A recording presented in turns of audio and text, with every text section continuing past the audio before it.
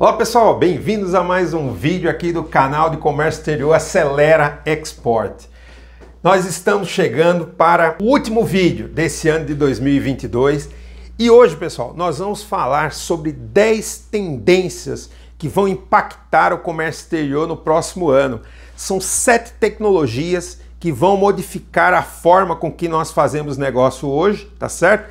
E três tendências de mercado que estão trazendo muito resultado, muito valor para quem exporta e também para quem importa, tá? No vídeo de hoje nós vamos falar sobre essas tendências para que você fique atualizado. É hora de olhar para frente sobre o que vai acontecer. Nós vamos ter um novo governo e o comércio exterior é uma grande oportunidade. Se você já nos acompanha, meu muito obrigado. Nós esse ano chegamos à expressiva marca de 7 mil é, seguidores aqui do canal, uma comunidade realmente representativa, uma comunidade de comércio exterior com 7 mil pessoas interagindo, realmente é muito relevante. Muito obrigado a você, tá certo? E se você está chegando aqui agora, eu sou o professor e trader internacional Carlos Moura e esse é um canal de comércio exterior.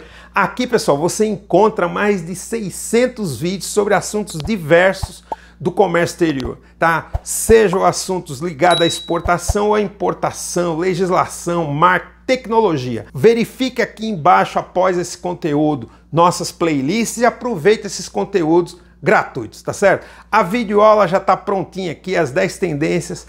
Logo após a vinheta, fique com esse conteúdo. Não esquece de deixar o teu like ao final. Logo após a vinheta, você vai assistir o conteúdo. Fica no vídeo, até o final.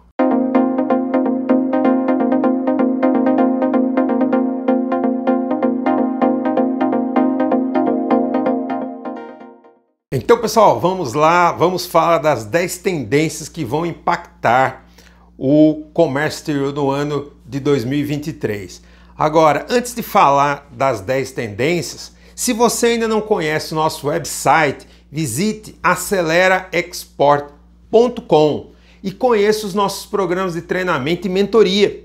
Você pode fazer uma especialização tanto para quem quer trabalhar na exportação como na importação. O foco é o marketing e as vendas, tá certo?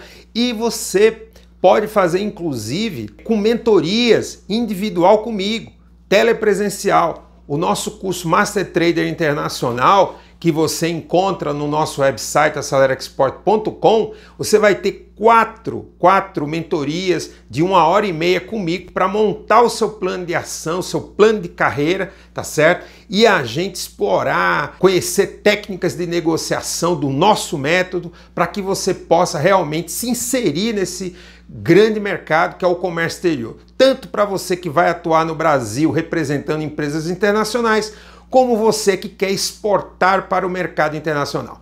Visite o nosso website. Bom, agora sem mais demoras, vamos falar das tendências. Primeiro, pessoal, são sete tecnologias, tá? Sete tecnologias. Uh, a primeira tecnologia é o Business Intelligence, tá? Business Intelligence. E o que é isso? O Business Intelligence, pessoal, é mais do que apenas um software, é um processo de análise do negócio. E o Business Intelligence consiste em você, através de diversas ferramentas tecnológicas, tá? É, coletar informações do mercado, fazer uma matriz cruzando essas informações para que você entenda quais são as tendências e onde é o mercado melhor para o seu produto. Nem sempre aquilo que parece é a melhor oportunidade e nem sempre aquilo que o governo investiu por questões políticas ou outras prioridades vai ser o melhor para o seu produto. Então, como é que você vai tá, fazer para entender onde é o melhor país, o melhor mercado para você exportar o seu produto ou qual é o melhor país para você importar um produto? tem que usar a técnica do Business Intelligence, ok? Inclusive no nosso website tem livros, lá você visita no acelerexport.com e consulte livros sobre Business Intelligence para você se aprofundar. É fundamental isso daí. Essa é a primeira tendência, tá? A segunda grande tendência, pessoal, é o blockchain. O blockchain é um código de segurança, tá? É uma tecnologia que veio das criptomoedas para garantir a segurança das operações financeiras no mercado do, das criptomoedas, como o Bitcoin, foi criado o blockchain. Esse código, tá? Ele é usado para toda a economia, tá? Você aplica essa tecnologia em diversos setores, tá certo? E um dos setores onde o blockchain está sendo utilizado é no comércio internacional. A Receita Federal criou o BiConnect, que é a blockchain para a troca de informações. Por quê? Porque no futuro todas as informações aduaneiras sensíveis vão ser trocadas entre os países de forma digital. E o blockchain é a maneira com que você tem certeza, garante que a informação que você criou, por exemplo, um certificado de origem, é verídico e chega do outro lado com essa é, é, autoridade, com essa competência de garantir a veracidade do certificado de origem. Inclusive, atualmente já existem câmaras de comércio, por exemplo, como a Câmara Árabe, que usa o blockchain para emissão de certificado de origem dentro da comunidade dos 22 países árabes. Esse já é um exemplo. Então, essa tecnologia já está sendo utilizada e está ampliando mais, tá certo? Terceira tecnologia é o IoT ou IoT, que é a internet das coisas. A internet das coisas, pessoal, é uma forma de você integrar os elos da cadeia de suprimentos, tá certo? Garantindo o quê? Rapidez e segurança, tá certo? É possível, por exemplo, você coletar dados do comércio internacional e, por exemplo, demandar um, um serviço a partir da informação que alguém, por exemplo, imputou através de um coletor de dados ou de um tablet. Isso já está sendo utilizado, por exemplo, é, nos portos e aeroportos, tá? O IoT. E isso faz com que o processo fique muito mais ágil. Um outro exemplo que eu posso dar na área do varejo, já existem refrigeradores para a sua casa que estão conectados com os supermercados. Isso na Europa já existe, tá? E nos Estados Unidos também. Então, quando acaba um determinado produto, tá? O refrigerador detecta isso e dispara um pedido automaticamente para o supermercado abastecer a sua casa. Isso é a internet das coisas. A internet conectada à ponta para demandar os serviços retroalimentando o processo e a cadeia. Isso no comércio exterior já está sendo usado em diversas áreas, tá certo? Bom, quarta tecnologia é a computação em nuvem, o cloud computing. E para que isso? Para que você, por exemplo, tenha o sistema de faturamento da sua empresa no seu smartphone, em qualquer lugar que você estiver, ou no, no seu tablet, por exemplo, você pode acessar essas informações. Então, você tem várias nuvens de grande porte, sistemas como o da Amazon, por exemplo, o Amazon Cloud, que o sistema é colocado dentro da nuvem e você pode acessar em qualquer lugar. E o comércio exterior já está migrando para isso, tá? Para que quem precisar da informação, seja no Brasil ou no exterior, possa ter isso à mão, tá certo? Quinta grande tendência, inteligência artificial, tá? O próprio YouTube é um grande exemplo para isso. Você um dia se demonstrou interessado, por exemplo, por exportação ou importação, comércio exterior, procurou no YouTube e encontrou o canal Acelera Export. Não foi isso? Isso é inteligência artificial e o comércio exterior já está usando essa tecnologia, tá certo? Ela permite automatizar os processos, liberando o tempo das pessoas. Tem muita gente, inclusive, que está com medo da inteligência artificial tirar um emprego. Veja, é importante que cada vez mais você que é um profissional, por exemplo, um despachante aduaneiro está acompanhando o nosso canal, comece a virar um profissional analítico que analisa, não só cumpre rotinas e burocracias, porque está realmente com os dias contados. Você precisa começar a usar o seu tempo para fazer análise, desenvolvimento de novos mercados, nova logística. É isso que é o futuro. E a inteligência artificial responde e, e, e realiza aquilo que é repetitivo. Mas isso já é uma grande tendência. Sexta grande tendência é o Big Data, são as ferramentas de Big Data. Hoje, dado não são só números, tá certo? Nem texto, é vídeo, é tweet. Então, existe uma gama gigantesca de dados que já passa os trilhões de dados e existem sistemas que te disponibilizam esses dados a nível mundial, por exemplo, para você observar é, tendências de mercado, por exemplo, características de produtos que são importados por um determinado país ou diversos países. Então, o comércio exterior, principalmente na prospecção de novos mercados, já utiliza bastante as ferramentas de Big Data, tá certo? É, para quando você vai desenvolver um novo mercado, entender o comportamento, quanto importa daquele produto, quem está exportando, entre outras aplicações. E a sétima, pessoal, é o e-commerce, tá? O comércio eletrônico através dos marketplaces, como por exemplo o Alibaba, o AliExpress e a Amazon, entre outras, tá? Isso está se consolidando tanto para o comércio do B2B como o B2C, B2B, business to business, ou seja, empresa para empresa, como empresa para o cliente final, que é o B2C, tá certo?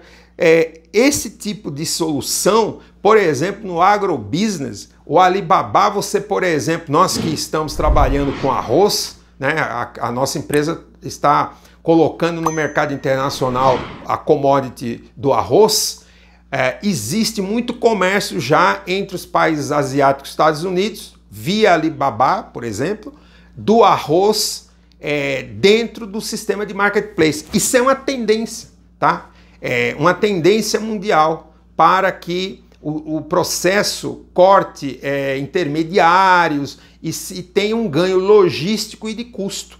Isso também é outra tendência muito forte, tá certo? Bom, agora vamos falar de três tendências de mercado, tá? Falamos de tecnologia, agora vamos falar de tendências de mercado, do comércio mesmo. Primeiro, pessoal, commodities em alta, tá certo? Por várias razões, o Brasil é um celeiro de alimento né, do agrobusiness, tanto os cereais, como também a proteína animal. O Brasil realmente é muito forte e um primeiro exemplo que eu dou é o crescimento muito forte do mercado árabe, que são 22 países, tá? Os países muçulmanos são muito mais, é, é um, um número muito maior. Mas o mercado árabe especificamente dos 22 países cresceu é, nesse último ano ao redor tá, de 24,6%.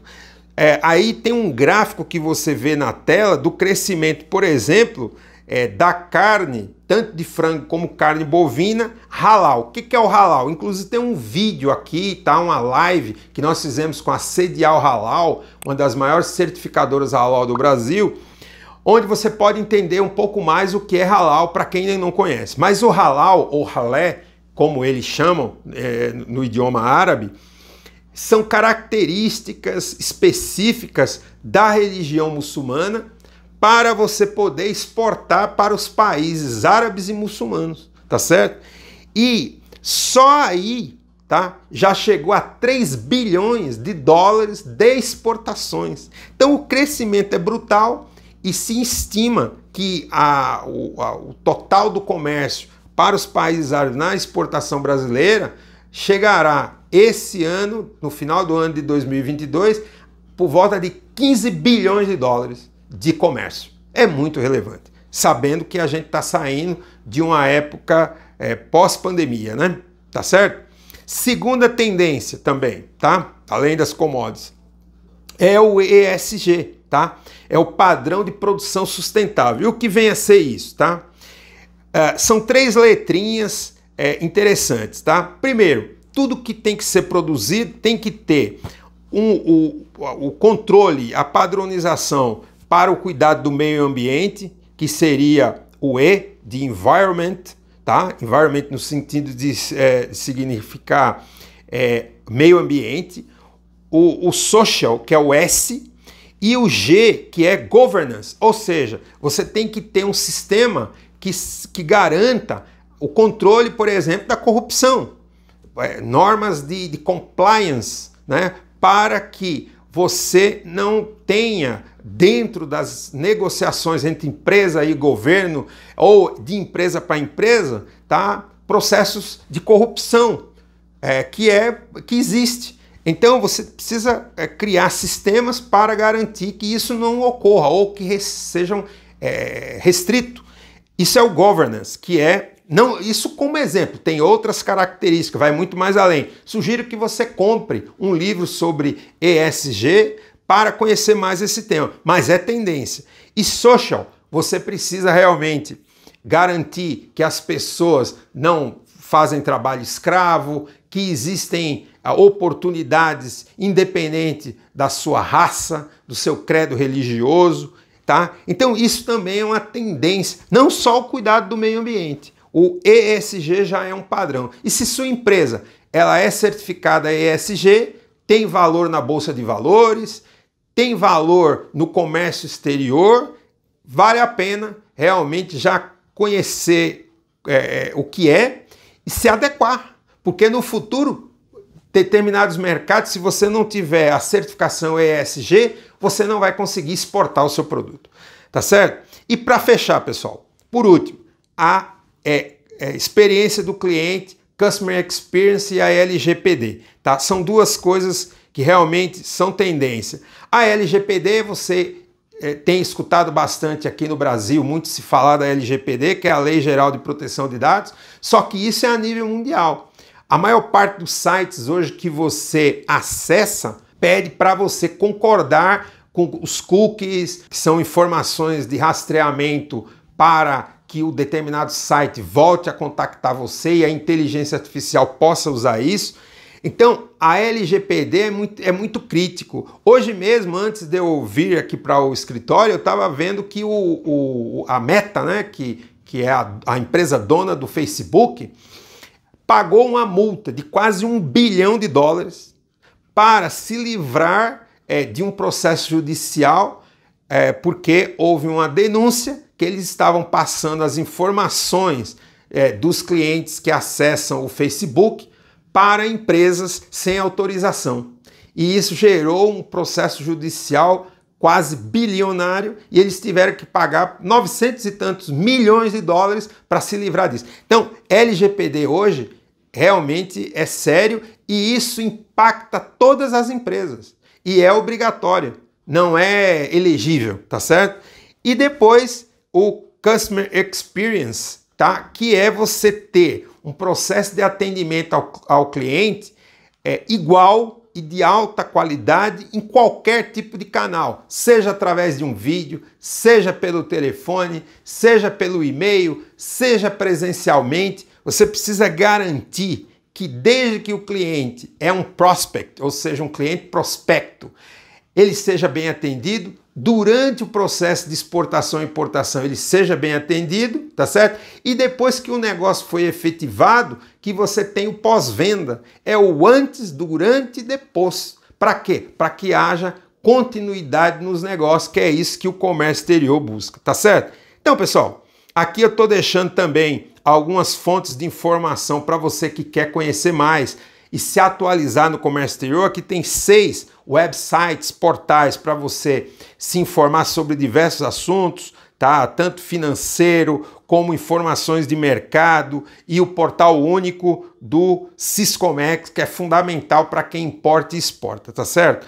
Consulte essas informações. Então, agora por último, eu desejo oficialmente um feliz ano novo 2023. Esteja conosco. Se você gostou desse vídeo, já dá teu like, deixa uma mensagem aqui, fala a importância do canal Acelera Export para o seu trabalho. Se você realmente gosta, sugira temas e nos acompanhe nas redes sociais. É só você colocar lá arroba trader underline Carlos Moura, você vai nos encontrar tanto no Instagram, no LinkedIn, no Facebook, no Twitter e aqui no YouTube. Tá bom? Então, pessoal, olha, meu muito obrigado. Receba um abraço. Feliz ano novo. Nos encontramos no próximo ano. Sucesso a todos, tudo de bom.